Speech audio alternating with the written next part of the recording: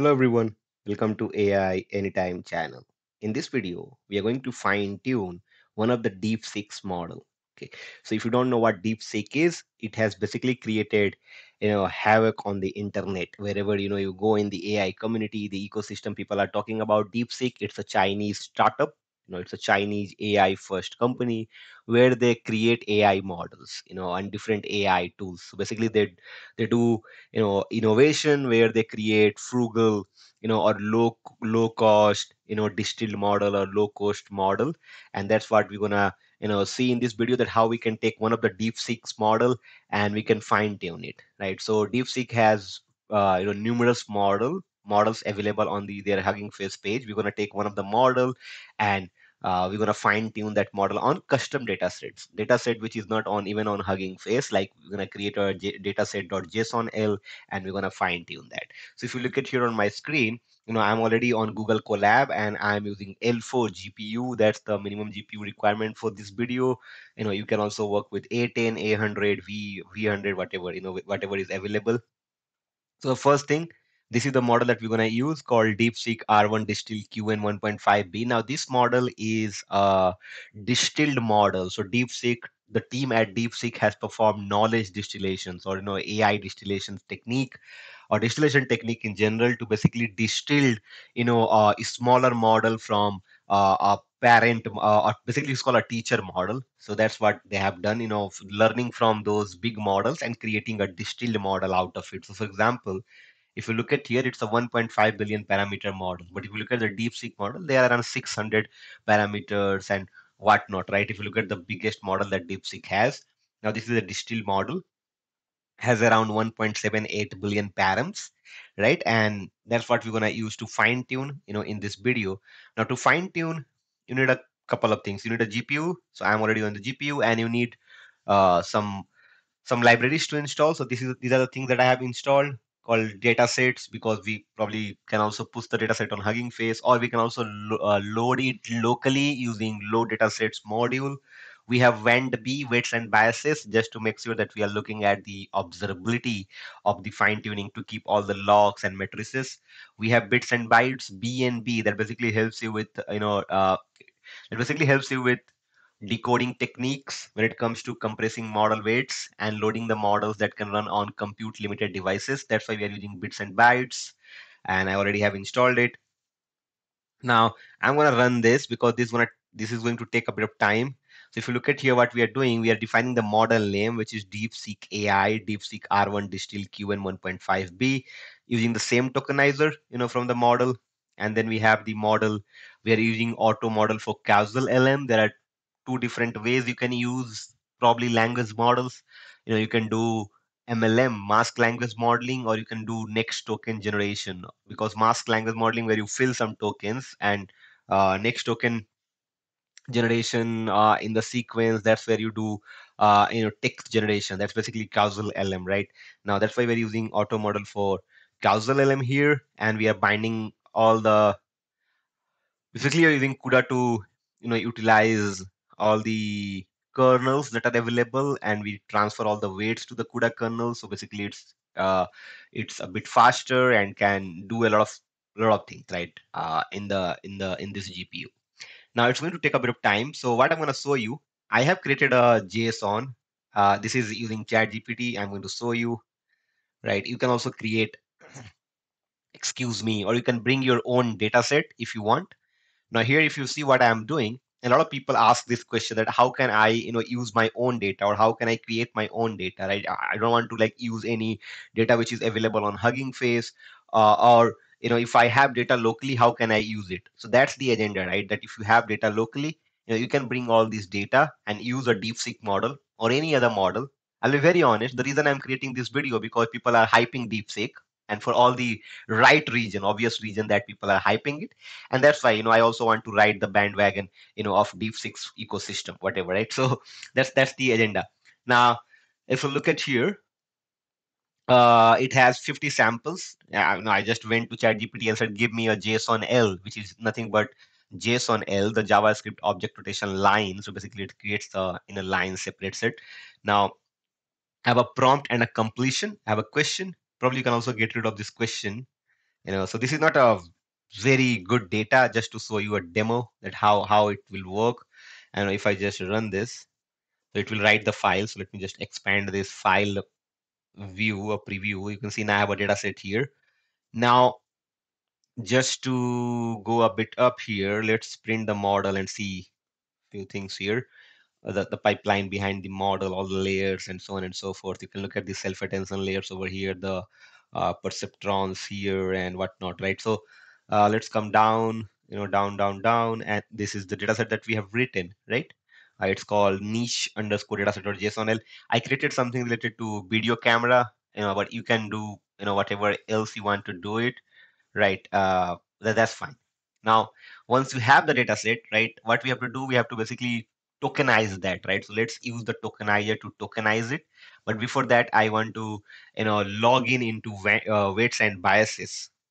So for that, you're gonna do wandb login, and I need an API key. So I'll just copy it from the wandb dashboard.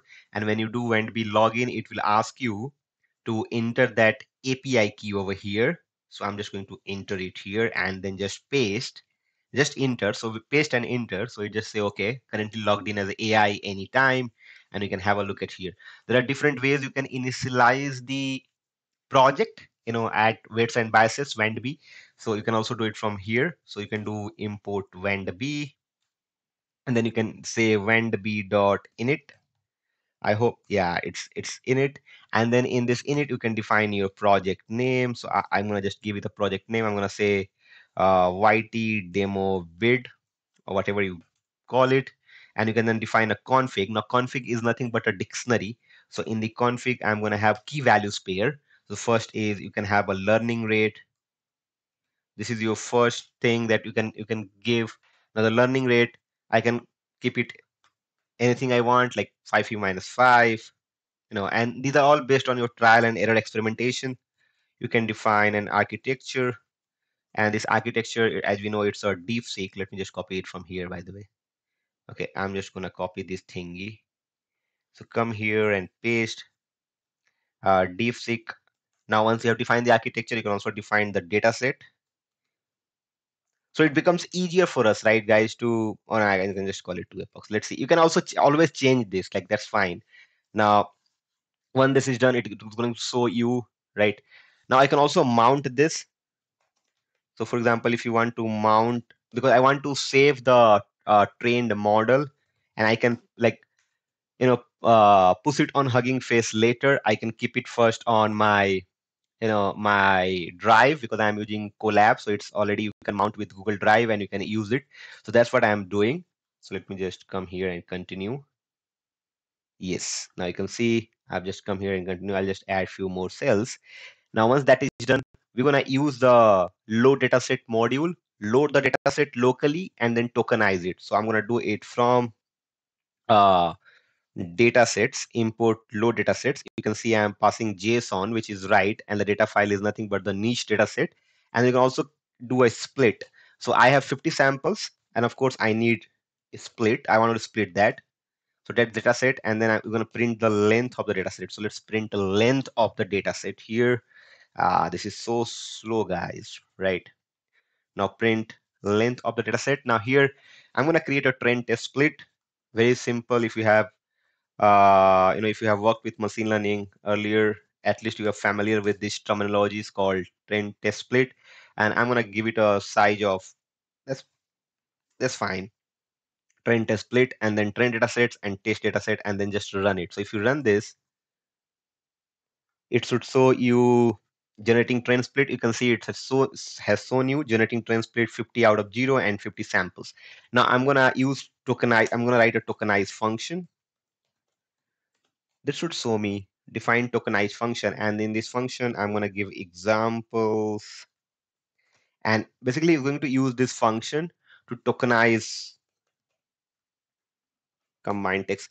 I do have, uh, what I'm going to do is I'm going to save some time. So I do have a repository. So let me just copy paste a few things so it will be faster.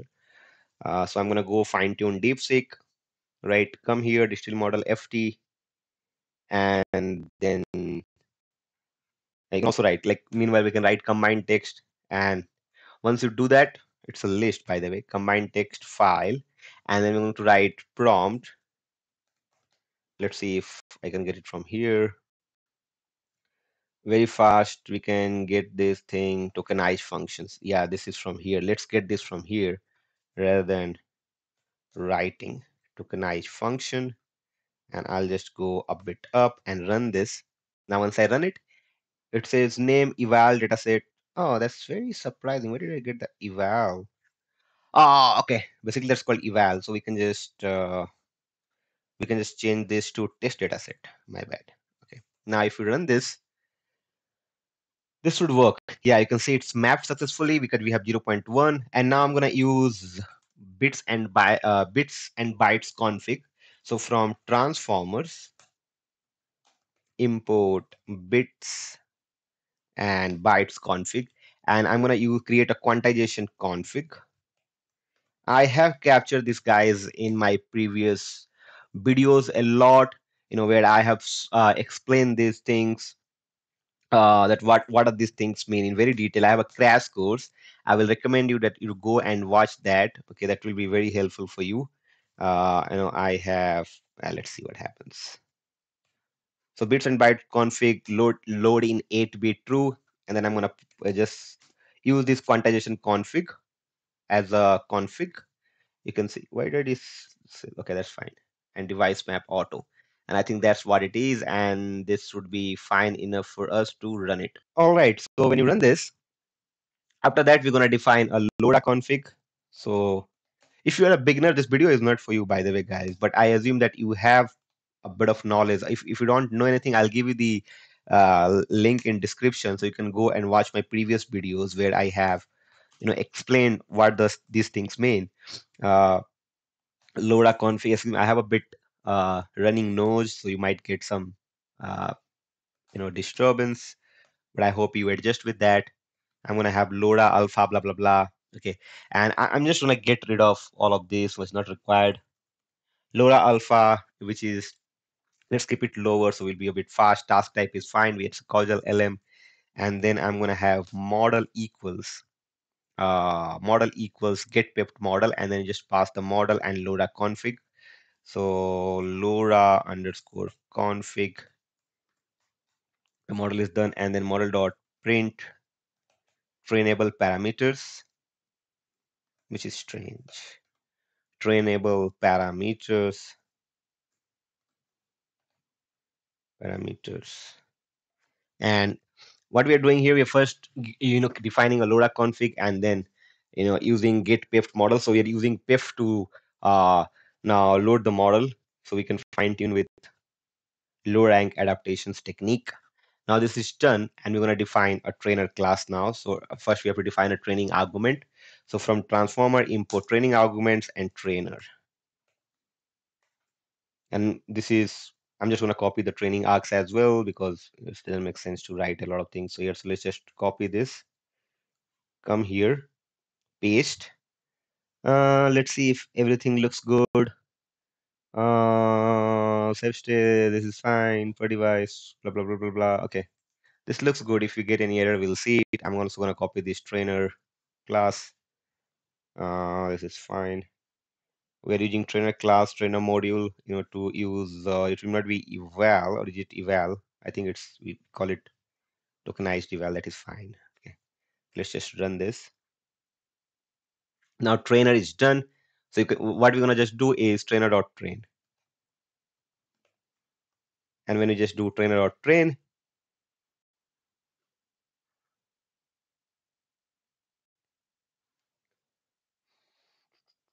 can see it started training for 50 epochs, very less. By the way, this is not at all a very big data, so you can you have to increase that. Now the next thing is probably you know I'm gonna copy a bunch of code and explain that like where I'm writing a lot of things here. Uh, I'm gonna save that on drive, so that is fine. And then I'm going to merge the LoRa adapters, you know, with the base model, and also save that as a final model. Load it, and I'll just copy paste here and probably I should have just run that but anyway that's fine uh, from transformer import pipelines we're going to use pipelines we're going to create a pipe a text generation pipeline to get some output. But you can again use causal LM to do that. So I'm just coming here and take this question probably, you know, let's see. And the last one, which is this, and then just generated text, generated text, and generated text. And let's just do that. Here we go. Okay, now you can see it's taking a bit of time. That's fine. But what I'll just explain the code. So what we are doing here, we are saving the file on a folder called DeepSeek fine tuned uh, on our drive. And after that, we are uh, merging the LoRa adapters with the base models. You can see here the models that we are using. This is the model, base model, and this is the model, uh, which is coming from the save path, which saved on the drive. And then we have a final save path where we save the final models, checkpoints, and then we load those two models in the same tokenizer, and then we use that to inference on a question that we want to inference, and then get the output over here, max length 300, blah, blah, blah. This is what we are doing. So let's probably uh, let's wait for it. So what I'm going to do, I'm going to pause the video and come back when this is done. As you can see, the training has been completed and the loss has been drastically, you know, like reduced here. You know, it has really gone down and it's not like, uh, looks like a good curve. If you look at on the Vanderby, we can go and have a look. You know, we can find it out. If you come here, you know, uh, if you go to where here, YT demo video, and you can find out all your logs over here you know, on weights and biases, all the runs. You can see the eval step per second, blah, blah, blah. Uh, looks looks really generalized, you know, on the dataset. And let's first run this. But this might be a hoax because we have very less samples and less epochs and whatnot. Doesn't make a lot of sense. Now I'm just running this. Uh, you know, this model merge and download. Make sure you have this line of code. Very, very important, you know, to use this line of code. And sometimes you also have to clear the CUDA cache just to make sure that if your model is really big, you cannot fit everything uh, at the same device. You know, so you have to first uh, unload a few things and then run it. But I have that in my previous notebooks. You can go on my GitHub repositories, look at the notebooks, and you can take the codes from there. And that is readily available on internet, or even ChatGPT can help, or DeepSeek can help. That's what people are saying. DeepSeek is good at coding, so you can use that. Okay. Uh, here I'm just going to write pipe uh, prompt device set to use CUDA, blah, blah, blah. And let's just run this. Don't expect a very good, you know, answers here because this, we ran it like for few minutes and like 50 samples. This will probably not be the, this is not the, of course, not the, not even a very good model, I'll say. Like you can see here, it says uh, types of camera, blah, blah, blah. Let's just, let's just copy this here.